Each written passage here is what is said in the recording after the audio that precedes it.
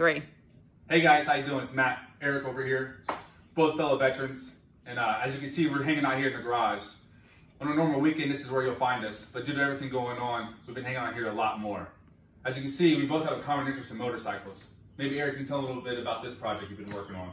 So this thing was taken apart a while ago. During this time frame, we've been able to put it all back together, get her up and running, and uh, work on some other things that uh, needed to be done in the garage, i.e. the floor, and clean it up so we can have more fellow vets come and help them fix their stuff. Now that you see what we've been doing during this whole quarantine, I nominate Marcus, Jackie, and Vanessa to post a video to show us what they've been doing. And if you don't want to do it, that's okay. Just go to independencefund.org and donate $100.